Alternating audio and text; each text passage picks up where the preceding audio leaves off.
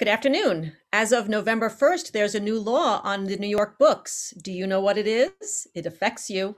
Hi, I'm Jeena Belil, your personal injury attorney, and I'm here to tell you about the new law that affects all drivers and passengers of automobiles in the state of New York.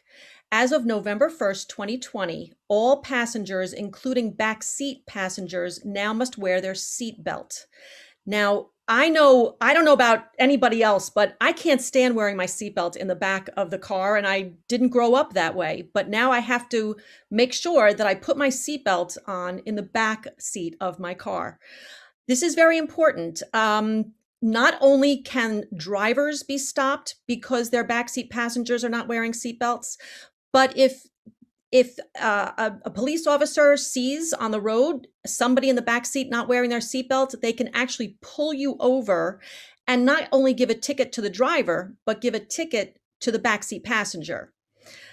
That can get very expensive for everybody. Um, now, let me tell you something. Um, accidents uh, involving backseat passengers who are not wearing their seatbelts, they can be as devastating as front seat passengers.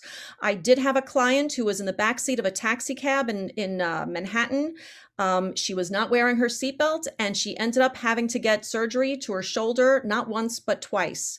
So, um, and this is another thing you uh, you need to know that if you're driving an Uber or a Lyft, you need to make sure that your backseat passengers are also wearing their seatbelts at all times while the car is moving.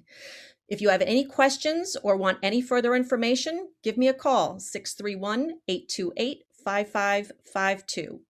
Have a great afternoon.